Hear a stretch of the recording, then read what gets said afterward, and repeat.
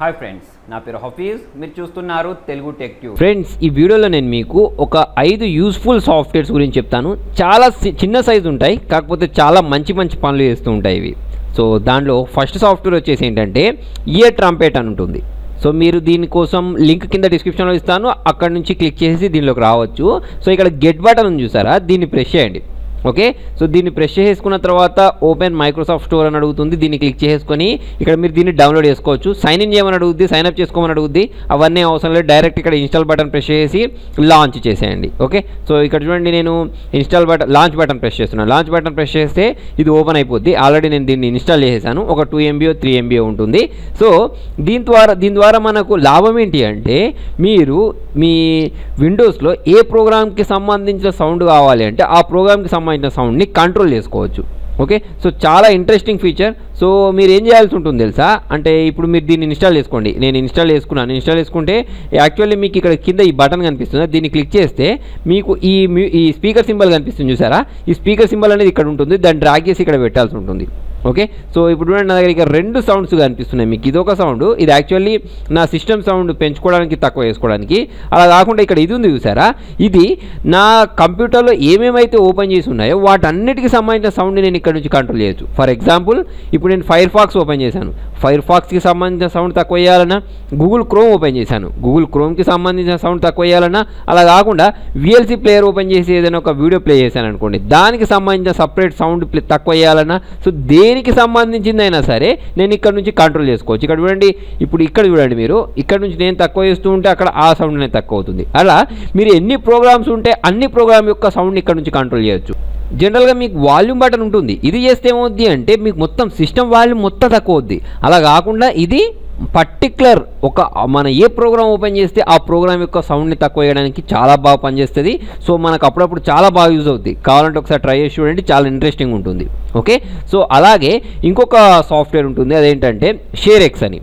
So దీని ద్వారా ఏం చేయొచ్చు అంటే క్యాప్చర్ చేయడానికి యూజ్ చేయొచ్చు. ఓకే? సో క్యాప్చర్ చేయడంలో చాలా రకాలు ఉంటాయి. చూడండి ఇప్పుడు నేను దీన్ని డౌన్లోడ్ బటన్ ప్రెస్ చేస్తున్నాను. డౌన్లోడ్ చేసుకున్న తర్వాత నేను మీకు చూపిస్తాను. దీన్ని ఓపెన్ చేసి.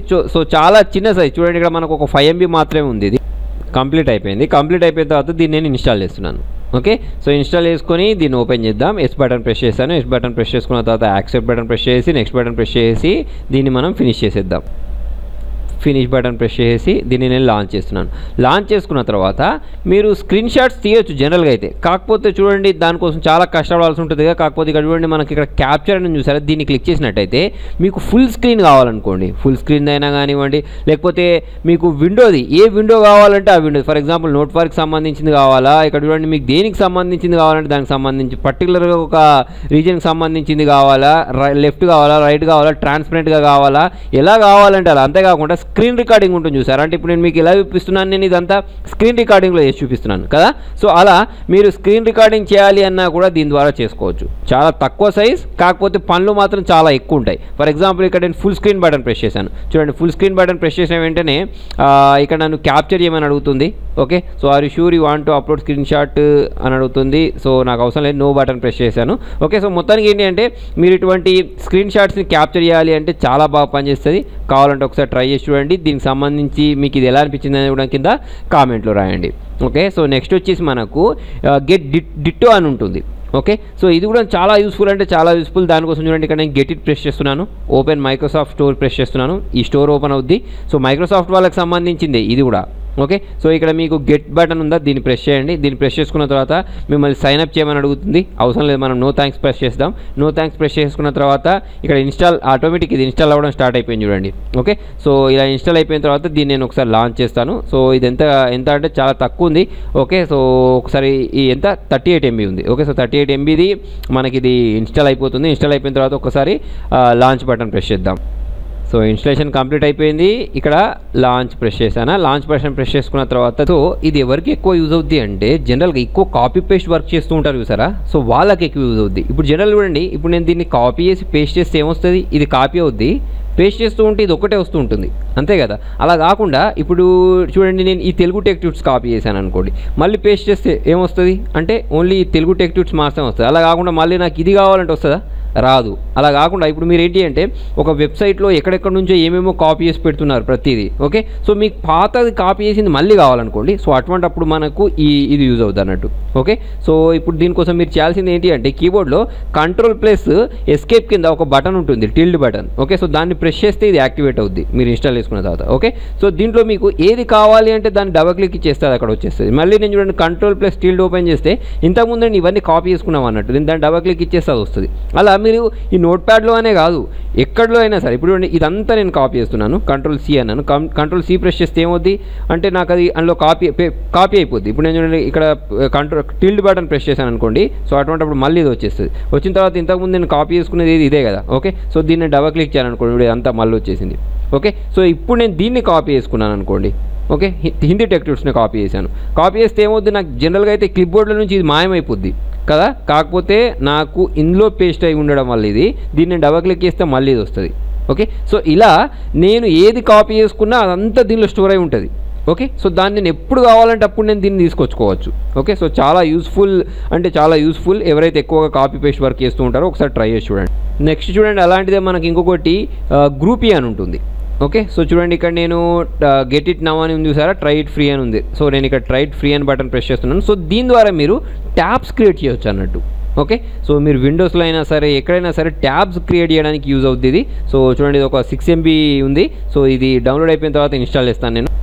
సో డౌన్లోడ్ అయిపోయింది ఈ గ్రూప్ దీన్ని నేను ఒకటిసారి క్లిక్ చేసేసుకొని ఇన్స్టాల్ చేస్తున్నాను. ఓకే ఎస్ బటన్ ప్రెస్ చేశాను. ఎస్ బటన్ ప్రెస్ చేసుకున్న తర్వాత ఇది ఇన్స్టలేషన్ అనేది స్టార్ట్ అయిపోద్ది.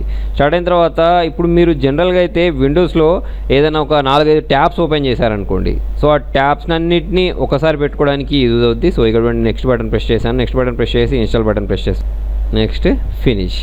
Okay so finish అయిపోయిన తర్వాత ఇక్కడ నేను ట్రయల్ వర్షన్ తీసుకొని ఈమెయిల్ ఐడి ఇచ్చేసి కంటిన్యూ బటన్ ప్రెస్ చేస్తాను.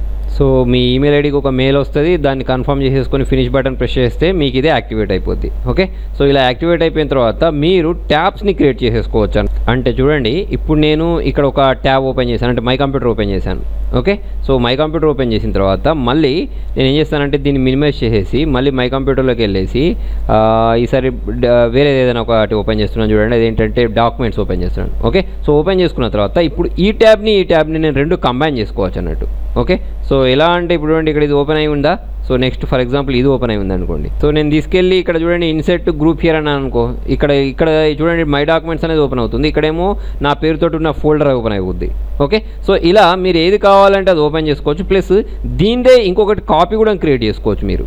ఓకే? సో అలా పనిచేస్తుంది. చాలా యూస్ఫుల్ అంటే చాలా యూస్ఫుల్. అంటే మీరు ఒకటేసారి ఎలాగైతే గూగుల్ క్రోమ్లో నాలుగైదు ట్యాబ్స్ ఓపెన్ చేస్తారో సో దీనిలో కూడా మనం ఏంటంటే నాలుగైదు ట్యాబ్స్ లాగా ఓపెన్ చేసుకోవచ్చు. ఇక్కడ ప్లస్ బటన్ ప్రెస్ చేసుకొని చూడండి దీన్నే మళ్ళీ డూప్లికేట్ ఫోల్డర్ లాగా కూడా క్రియేట్ చేసుకోవచ్చు. ఓకే? సో లింక్ కింద డిస్క్రిప్షన్లో ఉంటుంది. ట్రై చేసి చూడండి. నెక్స్ట్ ఇంకొక సాఫ్ట్వేర్ ఉంటుంది ఓక్స్ అని. ఓకే సో దానికి సంబంధించిన లింక్ కూడా కింద డిస్క్రిప్షన్లో ఇస్తాను. మీకు ఇక్కడ నుంచి దీన్ని డౌన్లోడ్ చేసుకోవాల్సి ఉంటుంది. దీన్ని క్లిక్ చేసిన వెంటనే ఓకే సో ఇది మీకు జిటాబ్లో దొరుకుతుంది. జిటాబ్ నుంచి మీరు డౌన్లోడ్ చేసుకొని ఇన్స్టాల్ చేసుకోవాల్సి ఉంటుంది. సో నేను ఆల్రెడీ దీన్ని డబల్ క్లిక్ ఇచ్చేసాను. డబల్ క్లిక్ ఇచ్చేసి ఓపెన్ చేస్తాను. అది ఇక్కడ ఓపెన్ అయిపోయింది. ఓకే సో దా ఏంటంటే ఇది?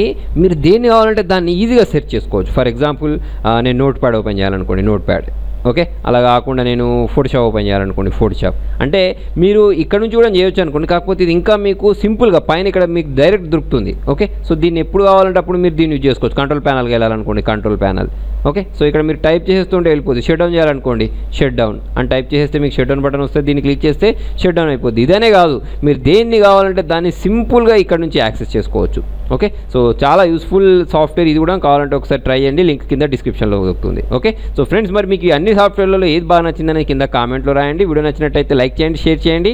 ఇంట్రెస్టింగ్ అప్డేట్స్ కోసం చూస్తూనే ఉండండి. Telugu tech tuts